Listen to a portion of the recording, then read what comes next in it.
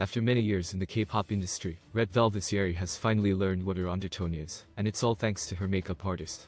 Yeri introduced her makeup artist in a recent behind-the-scenes video for her Burberry photoshoot.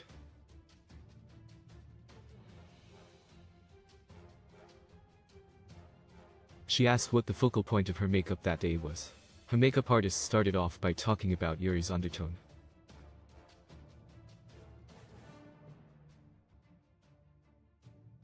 She confidently revealed that Yeri is none other than cool-toned. According to the makeup artist, you're cool-toned if you have pinkish skin and warm-toned if you have yellowish skin.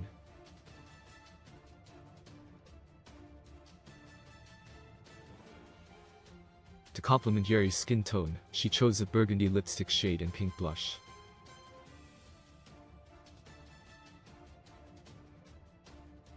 The combination was reminiscent of a vampirical style, which she advised looks great on people who are cool-toned.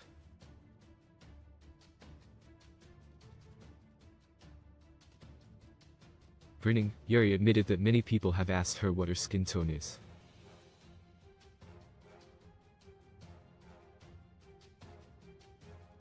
Now that she knows the answer, she finally has an idea of what to reply the next time the question is raised.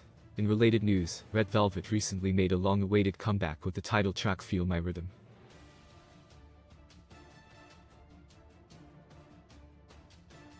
Bet to know what choreography was added at the last minute in the article below.